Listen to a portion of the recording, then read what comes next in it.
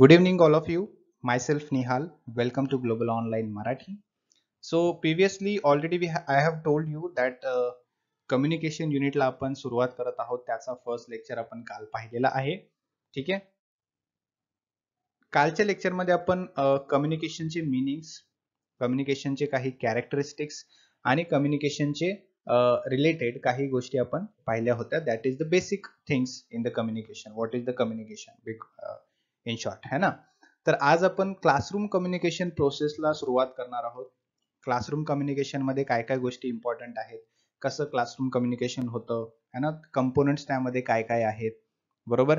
त्यासोबतच आपण बॅरियर्स जे कम्युनिकेशनमध्ये येऊ शकतात त्याचं एक ओव्हरव्ह्यू आपण करणार आहोत. ठीक आहे? सो सर्वांना विनंती आहे की व्हिडिओ जो आहे तो शेवटपर्यंत पहा. खूप सारी अशी भरपूर इन्फॉर्मेशन आजच्या लेक्चरमध्ये तुम्हाला मिळणार आहे. आजच्या लेक्चरमधून तुम्हाला कम्युनिकेशन या युनिटमधील काही इम्पॉर्टंट गोष्टी जे की एक्झामिनेशनला धरून खूप महत्त्वाचे आहेत ते, ते सुद्धा तुम्हाला आज कळणार आहेत. ठीक आहे?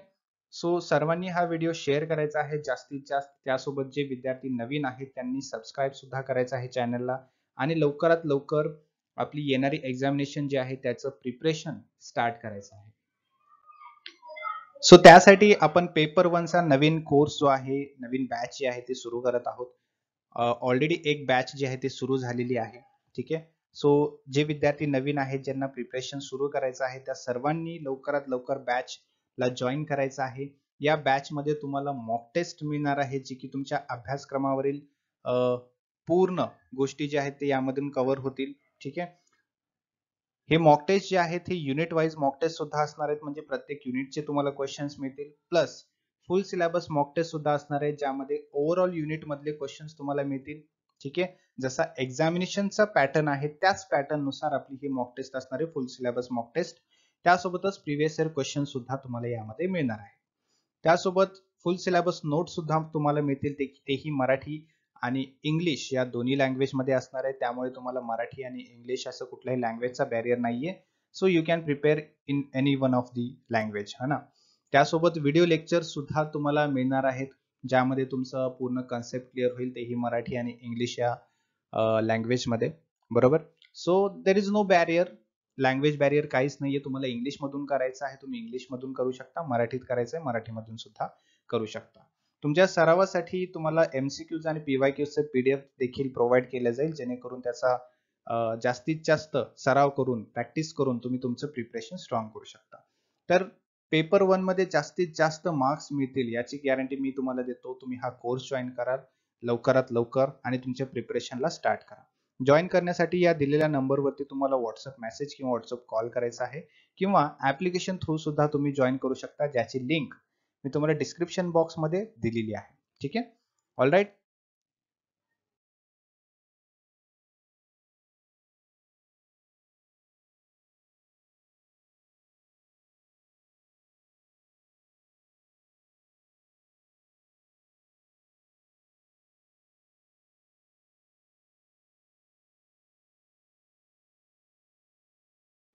त्याचप्रमाणे पेपर टू सुद्धा आपल्याकडे अवेलेबल आहे. तुमचा कॉमर्स विषय असेल मॅनेजमेंट विषय असेल इकॉनॉमिक्स हिस्ट्री मराठी जो काही तुमचा पेपर टू चा विषय असेल त्यासाठी सुद्धा आपल्याकडे कोर्सेस अवेलेबल आहेत मटेरियल्स अवेलेबल आहे त्यामध्ये तुम्हाला मॉक टेस्ट अभ्यासक्रमावरील नोट्स व्हिडिओ लेक्चर्स या सर्व गोष्टी मिळणार आहेत. ज्यांचा उपयोग करून तुम्ही जास्तीत जास्त तुमच्या प्रिपरेशनला बूस्टअप करू शकता. तुमच्या प्रिपरेशनला स्ट्रॉंग करू शकता. ठीक आहे? सो पेपर टू जॉईन करण्यासाठी सुद्धा सेम प्रोसेस आहे. या दिलेल्या नंबरवरती तुम्ही व्हॉट्सअप मेसेज किंवा व्हॉट्सअप कॉल करा किंवा ऍप्लिकेशन थ्रू सुद्धा तुम्ही जॉईन करू शकता. ठीक आहे? त्यासाठी तुम्हाला काय करायचं आहे? लिंक दिलेली आहे. त्या लिंकवरती क्लिक करून ऍप्लिकेशन डाउनलोड करून घ्या. डाउनलोड केल्यानंतर तुम्हाला अशा प्रकारे डॅशबोर्ड दिसेल. जर तुमचा पेपर टू असेल तर कॅटेगरीमध्ये जाऊन ऑल कॅटेगरीमध्ये जाऊन तुमचा विषय चूज करा. त्यानंतर खाली बाय नावचं ऑप्शन तुम्हाला दिसेल. राईट साईडला कॉर्नरमध्ये या ठिकाणी त्यावरती क्लिक करून तुम्ही ऍप्लिकेशनच्या थ्रू सुद्धा हे कोर्स जॉईन करू शकता. ठीक आहे? तर सुरू करूया आपण आजचं lecture classroom communication process is very important and खूप महत्त्वाचा एक मुद्दा आहे तुमच्या एक्झामिनेशन पर्स्पेक्टिव्हने कारण कम्युनिकेशन प्रोसेसमध्ये काय काय टप्पे असतात? सुरुवातीपासून ते शेवटपर्यंत सेंडर कोण असतो? रिसिव्हर कोण असतो? त्यांच्यामध्ये जो कम्युनिकेशन प्रोसेस होतो त्यामध्ये काय काय स्टेप्स असतात किंवा पायऱ्या असतात ते आपण पाहूया. वर्गात संप्रेषणाचा अर्थ संदेश आणि काउंटर मेसेजशी संबंधित असतो. बरोबर?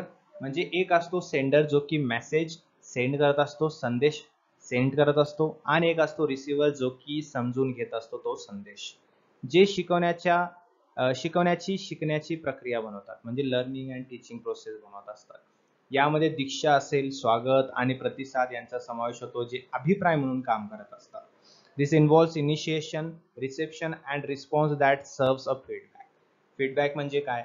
जो रिसिव्हर जेव्हा मेसेज सेंडरने मेसेज केलेला मेसेज जो केलेला आहे किंवा सेंडरने जो मेसेज तुमच्यासाठी पाठवलेला असेल है ना?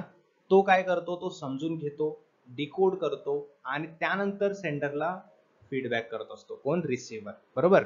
सो त्याला म्हटलं जातं फीडबॅक संप्रेषण ही मौखिक आणि गैरमौखिक संदेशांची देवाणघेवाण करण्याची प्रक्रिया आहे. ती एक निरंतर प्रक्रिया आहे. बरोबर? So communication process is what communication is a process of exchanging verbal and non verbal messages it is a continuous process ठीक आहे? सो कम्युनिकेशन काय आहे? क्लासरूम कम्युनिकेशन काय आहे? त्यामध्ये काय काय गोष्टी समावेश आहे? हे आपण आता पाहिलं. आता आपण त्याआधी आपण आणखीन एक व्याख्या पाहूया.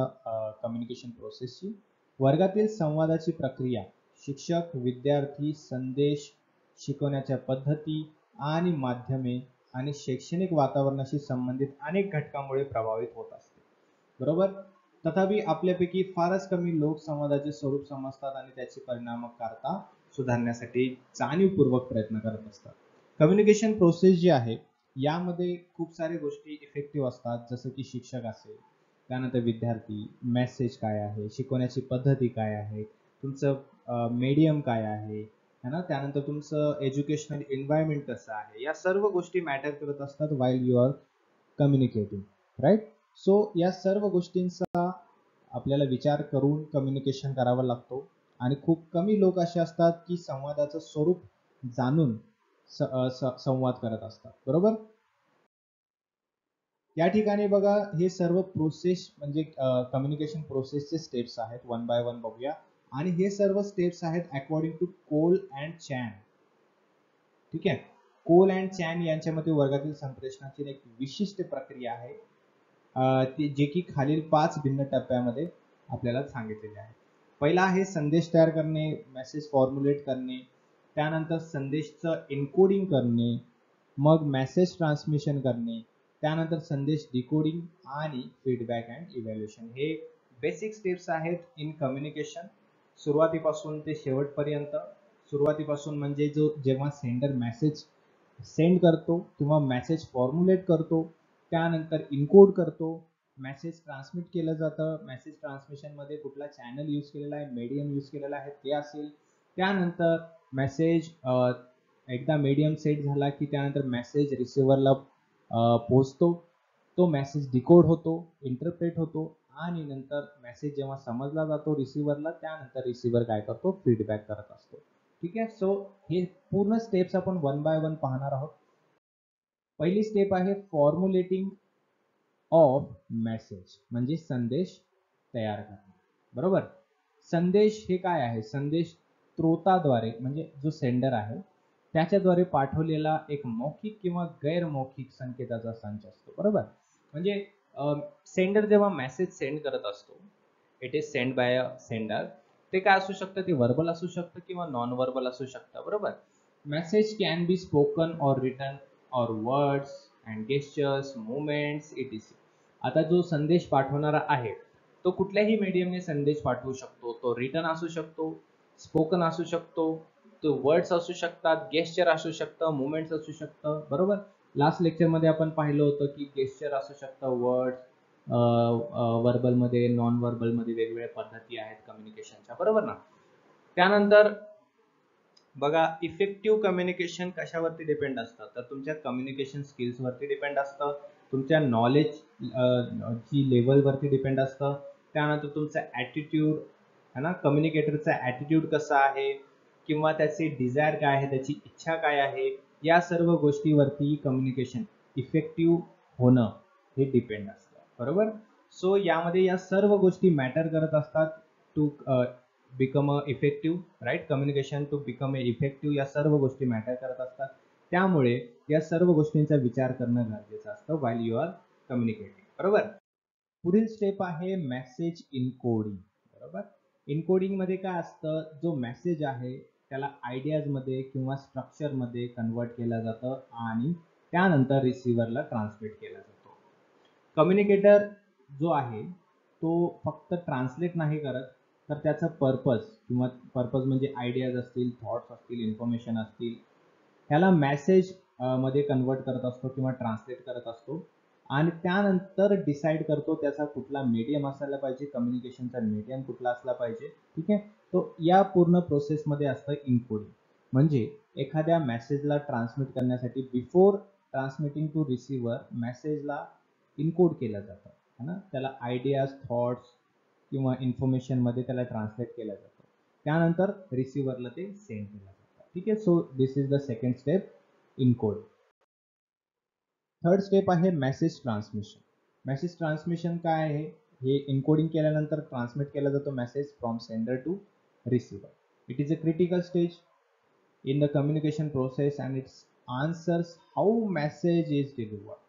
Message कसा वितरित केला जाऊ शकतो? याचं उत्तर म्हणजे काय? तुमचं ट्रान्समिशन ठीक आहे?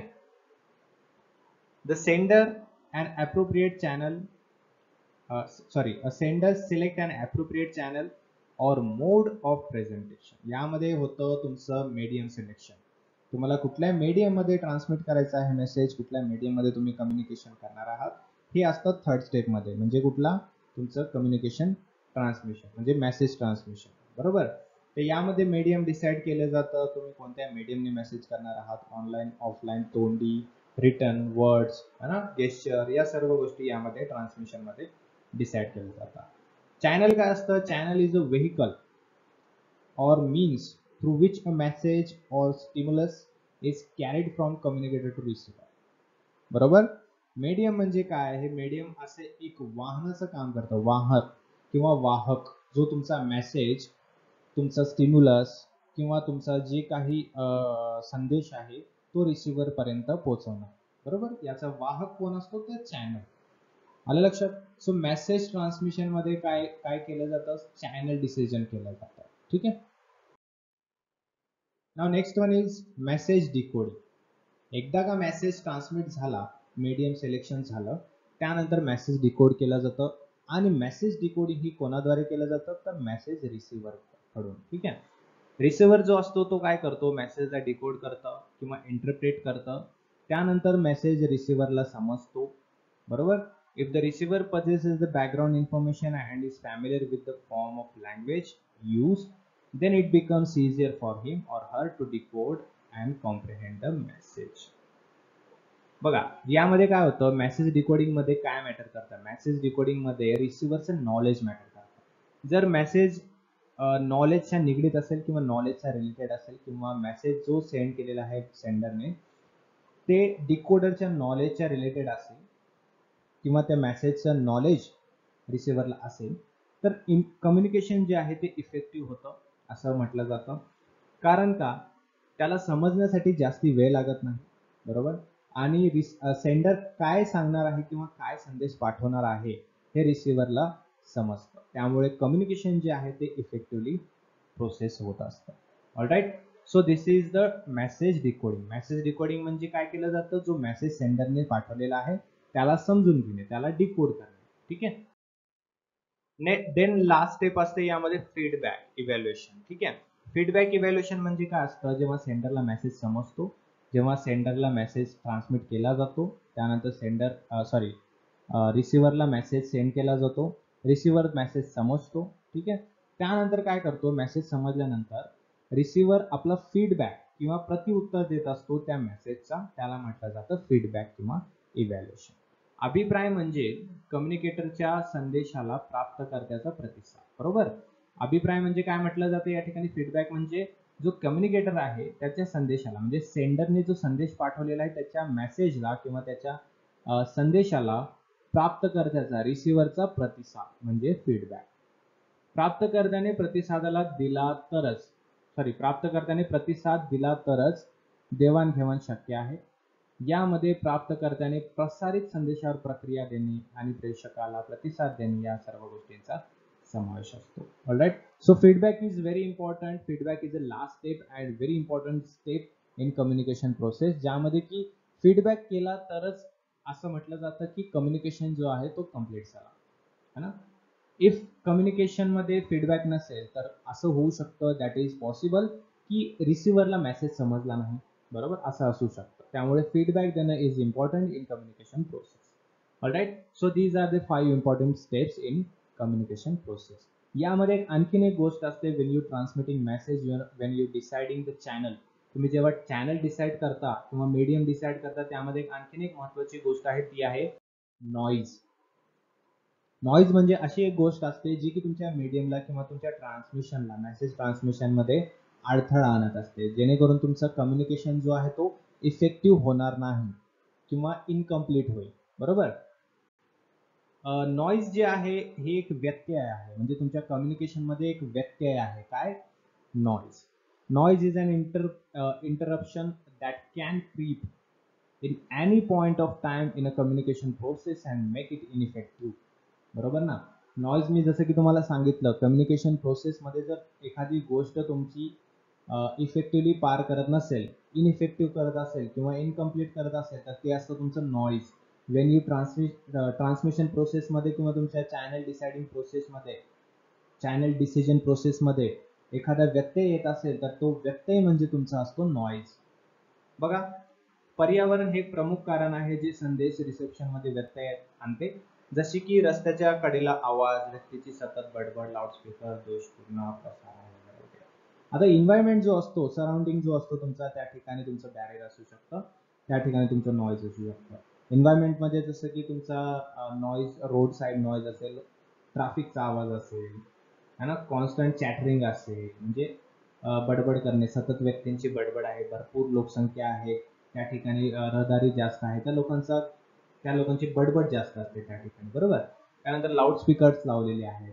या सर्व गोष्टी व्यत्यय आणत असतात तुमच्या कम्युनिकेशन प्रोसेसमध्ये सो त्याला म्हटलं जातं नॉईज त्यानंतर बघा खराब हस्तलेखन जड उच्चार किंवा सॉफ्ट उच्चार खराब प्रकाश असलेले खोलीत संप्रेषण इत्यादी सारख्या सुद्धा गोष्टी कम्युनिकेशनमध्ये त्याला नॉईज म्हटलं जातं. ठीक आहे?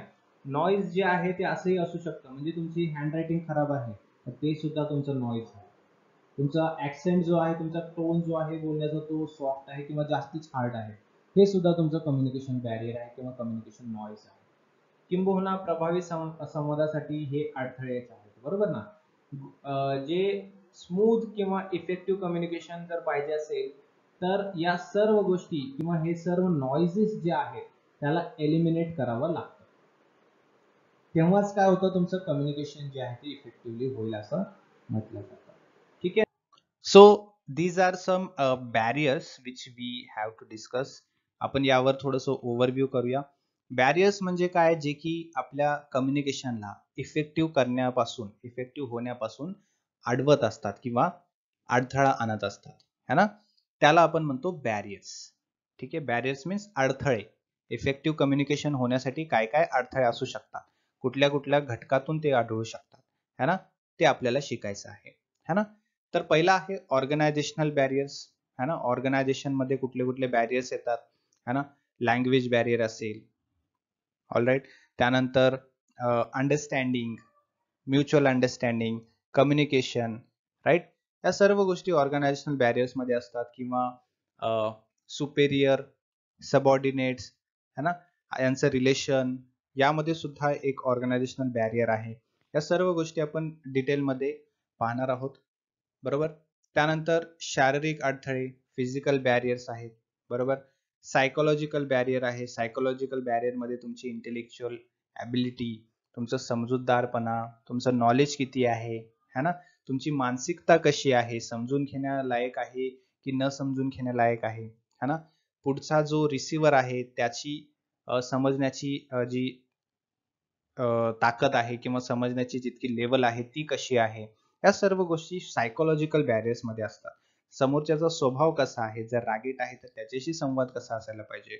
जर आपण काही बोलत असेल त्याचा स्वभाव त्याला मिळता जुळता नसेल त्या कम्युनिकेशनला तर त्यामध्ये बॅरियर येऊ शकतं. कम्युनिकेशन जे आहे ते ब्रेक होऊ शकतं.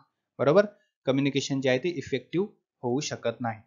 Right so these are some psychological barriers त्यानंतर लिंग्विस्टिक अँड कल्चरल बॅरियर्स त्यामध्ये भाषेचा सुद्धा अभाव येऊ शकतो है ना?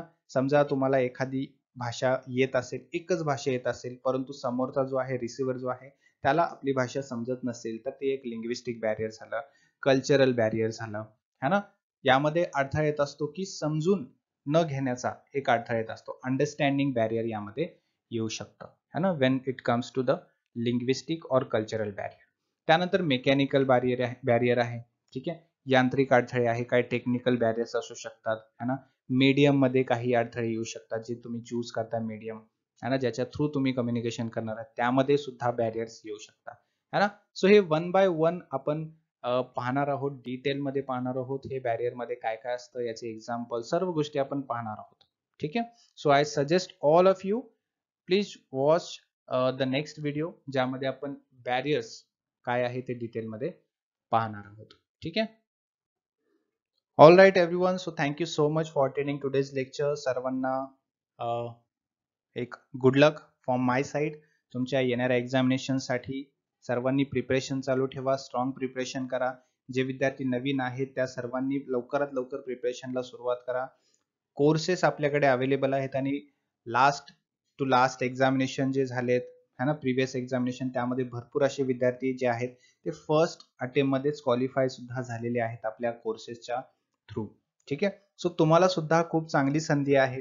आपली मिनिमम जी फीस आहे त्यामध्ये मॅक्झिमम आपण जास्तीत जास्त होईल तितकं आपण प्रोव्हाइड करत आहोत जेणेकरून तुमचा फ्युचर तुम्हाला ब्राईट करता येईल. राईट सो सर्वांनी लवकरात लवकर जॉईन करायचं आहे. आपली प्रिपरेशन स्टार्ट करायची आहे.